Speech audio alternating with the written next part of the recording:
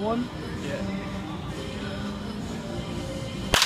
Oh. He's going to A then?